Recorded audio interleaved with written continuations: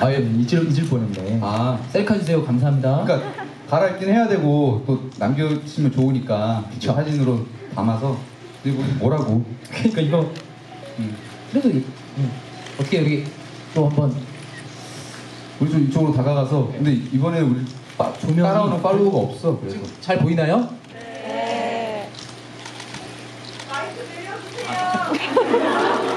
그냥 이거 뭐랄까 이거 너무 자주 하지 요즘에 색다른 거? 높이 앞에 해주세요. 체리 피스 해주세요. 체리 피스.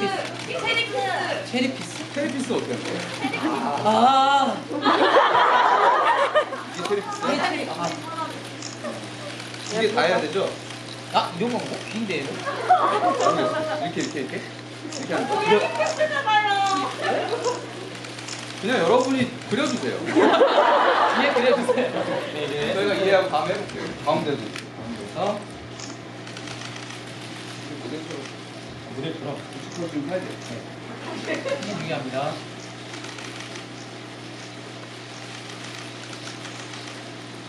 좋아. 이거 이건가 봐. 손가락에 다. 네, 손 그려주세요. 네네. 가운데다가. 되게 둘이서 하나. 둘이서 하나. 아 이렇게 머리가 체리. 이렇게 이거였네. 이거예요? 아 아.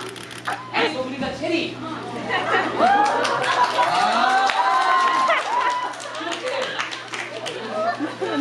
이거죠. 이게 셀 끝이고 이거 다르구나. 그렇지, 그렇지. 이해했어.